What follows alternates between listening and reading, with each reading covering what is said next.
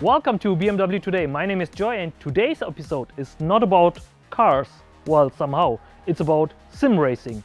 And to tell me more about that, I have with me Pia. Hi Pia, how are you doing? Hi Joy, I'm fine. Thank you very much for having me today. Tell me, what is your job in the company?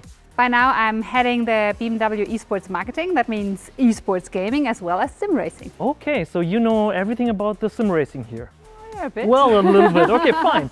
Tell me, what's the strategy behind the idea of sim racing and BMW? Sim racing is like the future of motorsport, so it's a great opportunity to catch up for us uh, with the future. So I think we need to be more in a young and digital environment for the future, and sim racing for sure is an experiential part of the story, so we want to be part of that. Okay, so tell me, quite a big setup here. What is happening today? Oh, in this case, you better talk to our famous host today, to Ben, because he knows. Okay, then thank you for your time. Hope to see Thank you soon you very again. much. I'll just go over to Ben. Thanks. Bye.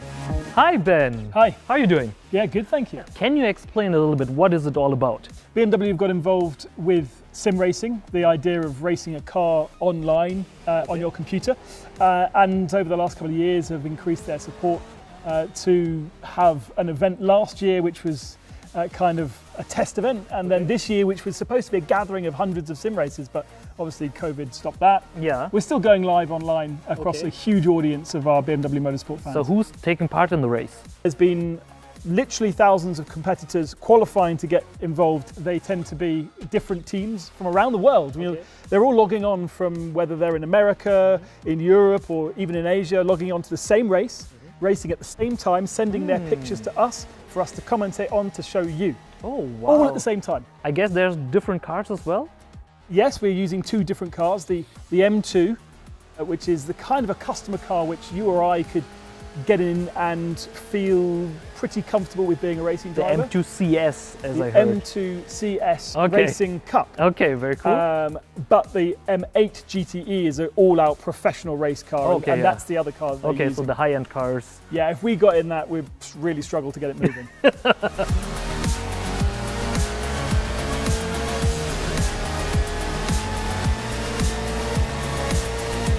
There's a simulator, I guess. Can I have a closer look to that? yeah, sure. Let's move over.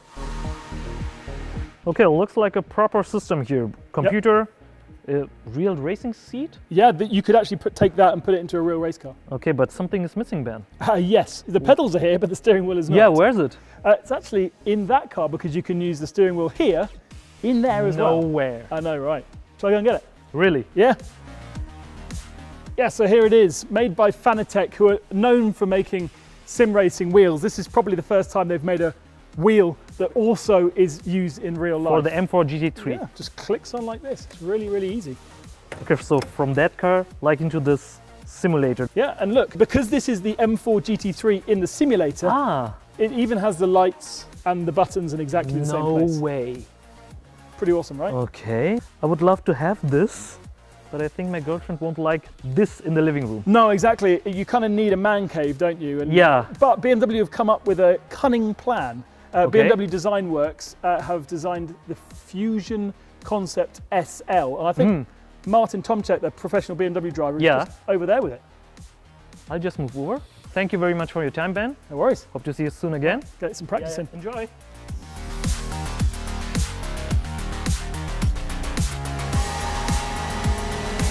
Hi Martin, how are you doing? Hi, I'm doing super actually. Fancy chairs you have here. Yeah, not just the chairs are fancy. Actually, the Yeah. part in the middle is even more fancy. Yeah, I was told here's a simulator, but I only can see a table. And that's the clue about it. But uh, should I convert it that you can see? Because Is you it- can convert this table into a simulator. Okay, I'm now excited. Yeah, Show me. okay. It's pretty easy. Okay. It's just two buttons you have to press so it comes up Uh huh. this direction. And then, see, the steering wheel pops up. That's something I can tell my girlfriend and she will accept it because it's not Oh. visible. Yes, that's actually true. And you have the pedals down here. So throttle, braking, everything is included. And then we actually, you can race. Since you're a professional race driver, what do you think in future? Will sim racing and real racing come closer to each other and combine something? Yeah, could be. I mean, we see this already now. The Mhm. the, the sim racing uh, group is really growing quite a lot, and it's coming closer and closer together. And perhaps, who knows, we see a championship what combines both. You know, Hmm. sim racing and real racing would be cool at the end.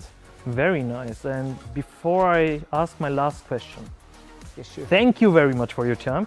I would like to sit there and try that. Oh, for sure. come on, come on. Very Have cool. Very cool.